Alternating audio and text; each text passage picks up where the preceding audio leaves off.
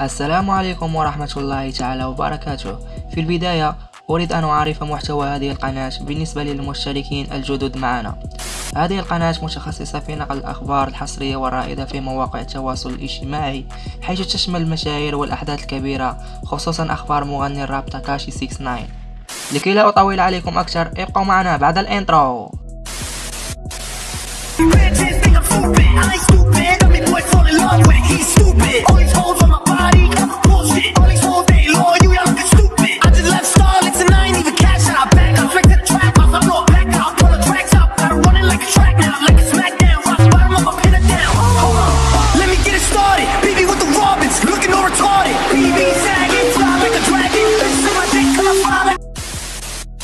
في البداية ذهب 69 رفقة حراسه الشخصيين إلى أحد المتاجر في مدينة نيويورك لكي يشتري مجوهرات جديدة خاصة به لكي يظهر بها في أعماله الفنية المستقبلية.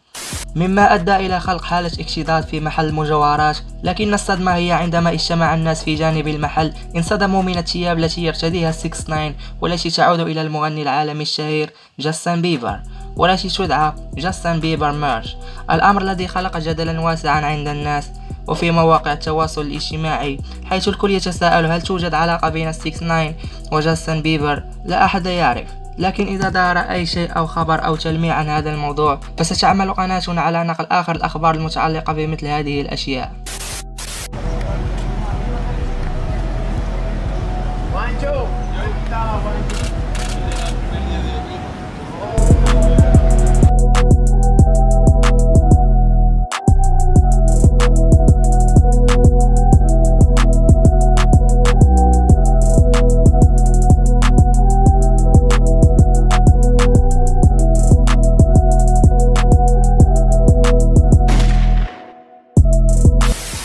وبالحديث عن جاستن بيبر ظهر هذا الأخير رفقة زوجته ومع المغني الصاعد شون مينديز الذي يبلغ من السن 22 سنة في أحد الاستديوهات في أمريكا.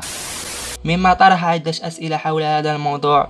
الأمر الذي دفع برنامج Capital FM استقبال شون مينديز على المباشر لطرح عليه مجموعة من الأسئلة بخصوص هذا الموضوع. هل سنشاهد تعاون بينه وبين جاستن بيبر؟ كان رد مينديز على هذا الموضوع على أنه كان يحب ويعشق أغاني جاستن بيبر منذ أن كانت لديه 18 سنة.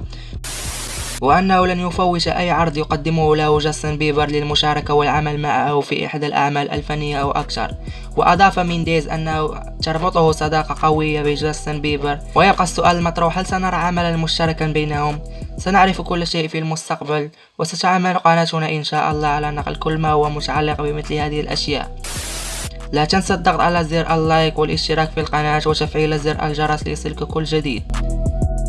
سلام.